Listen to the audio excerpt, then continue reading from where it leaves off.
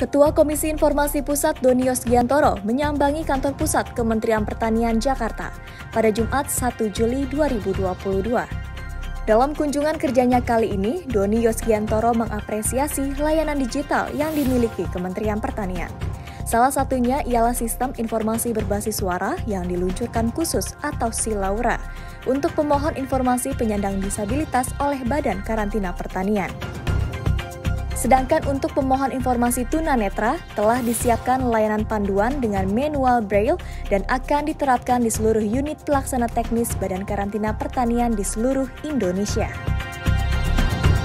Jadi saya tuh satu si Laura tadi. Si Laura itu adalah terobosan yang bagus, inovatif yang bagus. Sehingga saya melihat bahwa Kementerian Pertanian ini ya betul-betul menempatkan informasi ini sebagai barang publik. Ya, barang publik kenapa barang publik? Barang publik itu non excludable dan non rivalry. Jadi non excludable itu tidak boleh ada satupun orang yang dihambat untuk mendapatkan informasi. Ya, kalau dia sudah mendapatkan informasi itu dalam kondisi yang nyaman juga.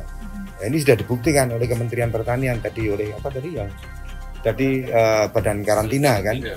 bahwa orang berkebutuhan khusus pun bisa mendapatkan informasi itu luar biasa.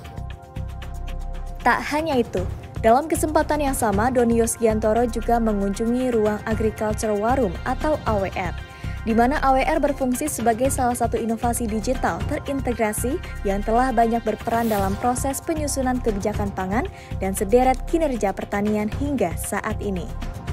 Melalui AWR mempermudah aktivitas pemantauan perkembangan pertanian secara real-time di lapangan. Hal ini sesuai dengan komitmen Kementerian Pertanian dalam menyampaikan informasi publik dan telah membuka akses layanan publik secara luas. Cukup apresiasi, apresiasi. Dan yang kedua, saya minta nanti, kebetulan saya ingin ya fokus ke Kementerian Pertanian ini untuk ke depan tidak hanya informasi sekarang, tapi Kementerian Pertanian harus bisa merencanakan informasi-informasi ke depan itu. Jadi ada namanya Plan of Information Development ya. Tidak hanya ini tapi ini kan ada PMK misalnya apa penyakit mulut dan kuku. Apalagi nanti harus bisa di ini bisa diantisipasi. Secara keseluruhan ya ini sesuatu yang luar biasa dan memang betul-betul memanfaatkan teknologi digital itu yang paling penting.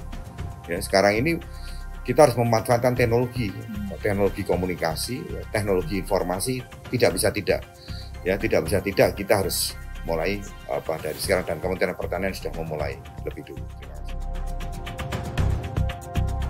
Dari Jakarta, Vika Novianti, Windu Wicaksono, tim TV Tani mengabarkan.